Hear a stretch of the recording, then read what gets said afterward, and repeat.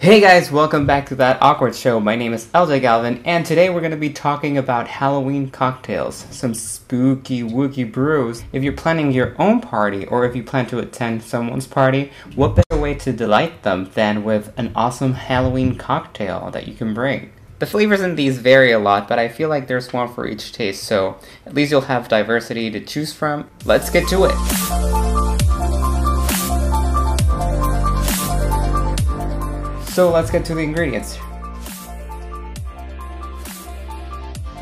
The Halloween party that I had this year was called the Witching Hour. They always have to have some sort of theme. I had to read up on witches and sort of get inspired. The first drink that I'm going to teach you how to make is called the Sassy Witch's Brew. You have to have the following ingredients. Viniq, it's like shimmery liqueur, some champagne, and the best part, some dry ice, which already looks spooky on its own. So for the Sassy Witch's Brew, we're gonna pour two ounces of Viniq.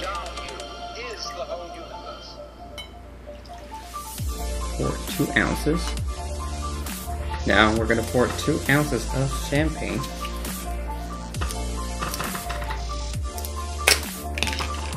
Two ounces of champagne you're gonna want to add dry ice. Be very careful because dry ice is crazy cold so you don't want to touch it with your hands. And don't worry, it is completely safe to drink. You add just a little tiny bit and it already starts bubbling and giving a really cool effect. Like a witchy potion. Cheers, delicious.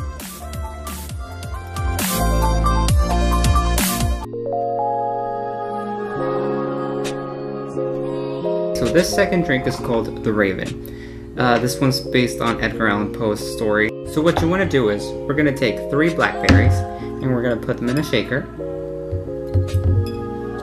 And we're going to add a little bit of mint leaves.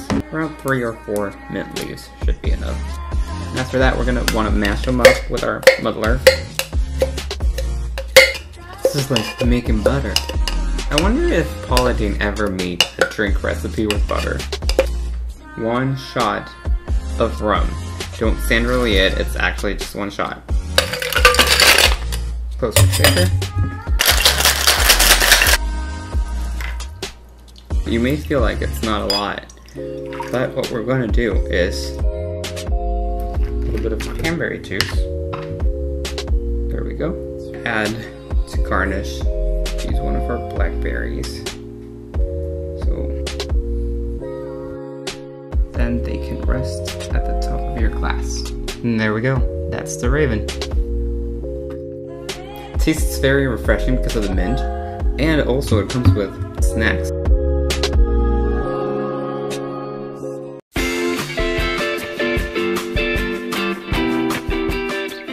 So I guess this last drink is the one that's a little bit most complicated, but it's only because it has the most ingredients. So the first thing you want to do is get a mason jar, one shot and a half of vodka, 0.5 ounces, just half a shot, green color, half a shot or 0.5 ounces of blue curacao, 3 ounces, which I've already measured in this, orange juice, already looking pretty cool and spooky. Three shots, because it's three ounces, of lime soda, gummy worms.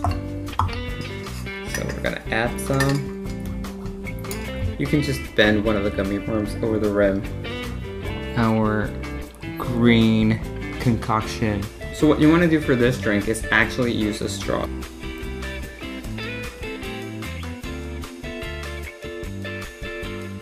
So thank you so much for watching you guys. I hope you enjoyed the videos. I hope you actually make the drinks and if you do, let me know in the comments how much you like them. Don't forget that I've also been making videos all October long for Halloween so if you want to check them out, I'll leave the links right here.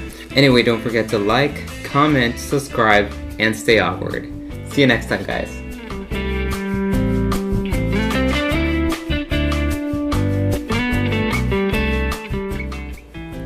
This one's really good. I can't tell if I'm already talking like this because I've been drinking all the drinks I made for you, or it's 12 a.m. and I'm still uh, recording videos for you guys. So I know that this is a little behind the scenes because you can see the rest of my house, but I actually wanted to take a moment to give a shout out to my friends that have been watching Rob Rob, Matthew, happy birthday, and Diana, happy birthday. I know that your birthday was this week, so cheers to you, girl.